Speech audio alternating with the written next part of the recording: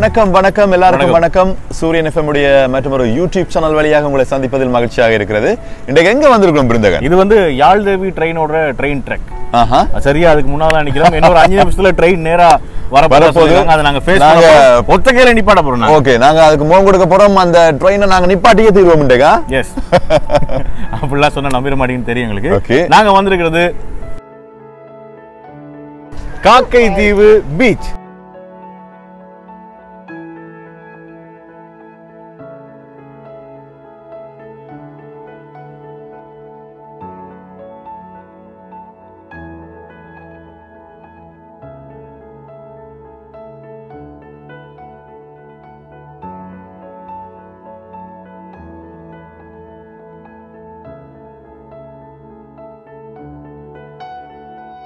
இல்ல உண்மையிலே ஒரு சூரிய அஸ்தமிக்கிற நேரம் இந்த இடத்துல இருந்து பார்க்கும்போது அந்த கடல் கூட இந்த மாதிரி ஒரு இயற்கையான ஒரு சூழல்.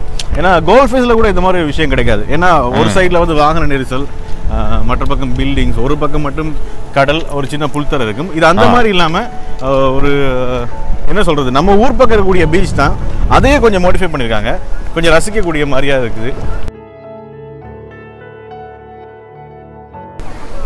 ஸோ சின்ன பிள்ளைகளெல்லாம் மாலை வழியில கூட்டிக்கிட்டு வரலாம்.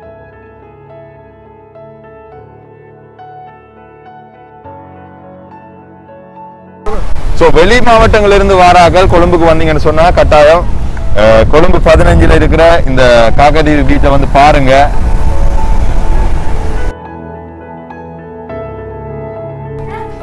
கொழும்பு பதினைந்து க்ரோ ஐலண்ட் அப்படின்னு சொல்லுவாங்க. காக்கை தீவுக்கு நாங்க உங்களை அழைத்து வந்திருக்கோம். காக்கை தீவு பீச். மனோஜ் வந்து கொண்டிருக்கிறார். மனோஜ் எங்களோட வரும்போது வீடியோ பண்ணி கொண்டிருக்கிறார் மனோஜ் தான். அவர் சொன்னார் ஒரு காலத்துல இது ஒரு காலி முகத்திரல் கோல்பேஸ் மாதிரி வரும் அப்படின்னு சொல்லியிருக்கிறாரு. எனவே சோ இந்த இடத்தை தான் இன்றைக்கு உங்களுக்கு சுத்தி காட்ட போறோம். இல்ல உண்மையிலேயே நான் டிலானட கேட்கும்போது சொல்லியிருந்தேன். டிலானட கேட்கும்போது இந்த காக்கை தீவு தீவுன்றாங்களே உண்மையிலே அந்த தீவை நான் கொஞ்சம் பார்க்கணும்னு.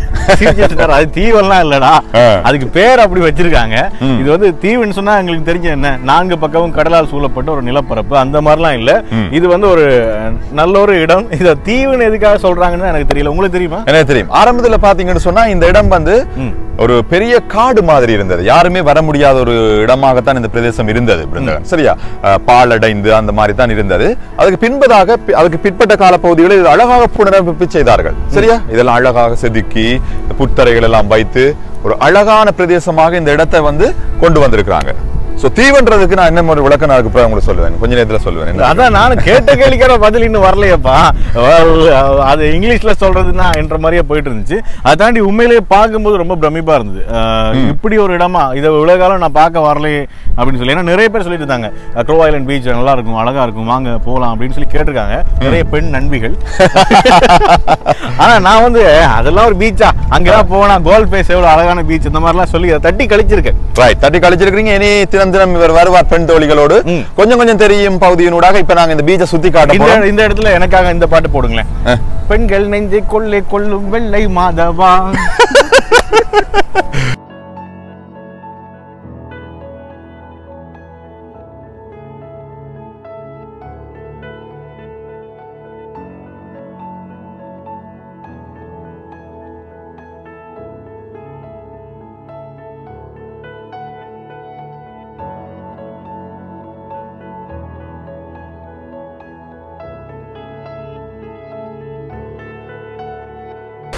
சோ இங்க பாத்தீங்கன்னு சொன்னா ஆஹ், கடலால அப்படியே சூழப்பட்டிருக்கிறது இந்த தீவு.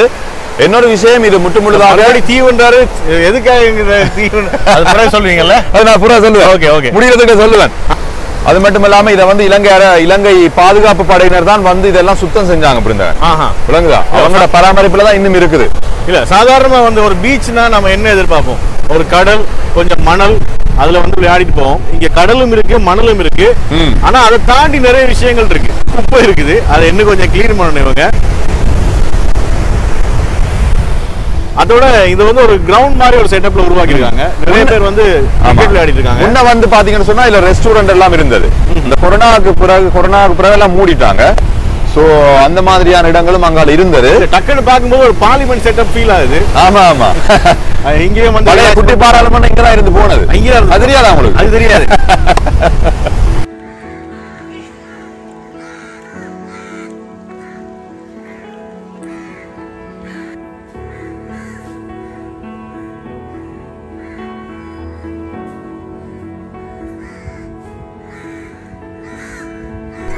ஓகே இந்த காக்கை தீவு பீச்சுக்குள்ளே கூட்டி வந்திருந்தோம். இங்கே வந்து பார்த்தீங்கன்னு சொன்னால் குட்டி குட்டி கடையெல்லாம் இருக்குது. வந்தீங்கன்னா ரிலாக்ஸாக இருந்து உங்களுடைய ஃபேமிலியோட இருந்து பேசுறதுக்கான இடம் கூட இங்கே இருக்குது. வழக்கமாக இந்த பீச்சுக்கு வந்தால் சில பேர் வந்து அனோயிங்காக ஃபீல் பண்ணுவாங்க. இந்த மணல் ஒட்டுறதுனால. பீச்சுக்கு வரணும் மணல் ஒட்டக்கூடாதுன்னு யோசிக்கிறவங்க இங்கே வந்தீங்கன்னா உங்களுக்கு உட்காந்து பேசுறதுக்கான தனித்தனி பெஞ்ச் எல்லாம் போட்டு வச்சிருக்காங்க. புத்தரைகள் நிறைய இருக்கிறது அதே மாதிரி பாருங்க இப்ப விளையாடி கொண்டிருக்காங்க கிரிக்கெட் விளையாடுறாங்க. சிறுவர்களுக்கு கூடுதலாக சிறுவர்களுக்கு இந்த இடம் நல்லா இருக்கும் நினைக்கிறேன் நிறைய சின்ன பிள்ளைகள் வந்து விழுந்து காயங்கள் ஏற்படாம புல்தரைகள் நிறைய இருக்கிறது. அதே மாதிரி இங்கே நடக்கிறதுக்கு எக்ஸசைஸ் பண்ணுறதுக்குன்னு சொல்லி தனித்தனியாக இடம் இருக்குது. ஓகே இன்னொரு வீடியோ சந்திப்போம். அது வரைக்கும் பாய் Bye bye.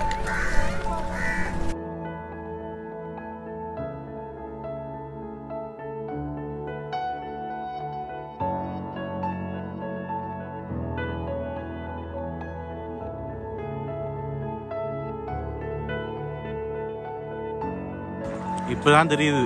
இதுக்கு ஏன் க்ரோ ஆயிலண்ட் பேர் வந்துச்சுன்னு